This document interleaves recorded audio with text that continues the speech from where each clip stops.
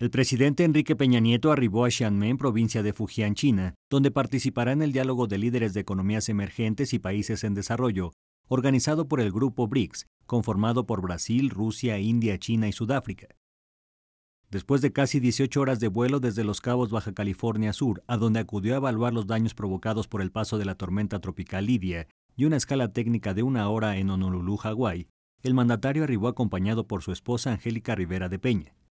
El avión presidencial TP-01 aterrizó en el aeropuerto de Gaoki, en esa ciudad, a las 6.18 del lunes, hora local, 17.18 horas del domingo, hora de la Ciudad de México, donde el presidente fue recibido por una comitiva de diplomáticos mexicanos y por funcionarios de los gobiernos chino, de la provincia de Fujian y de la ciudad de Xiamen.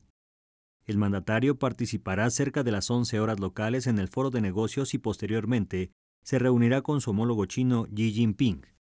En la noche asistirá a una cena de bienvenida en la que estarán presentes los presidentes de Rusia, Brasil, Sudáfrica, China y el primer ministro de la India.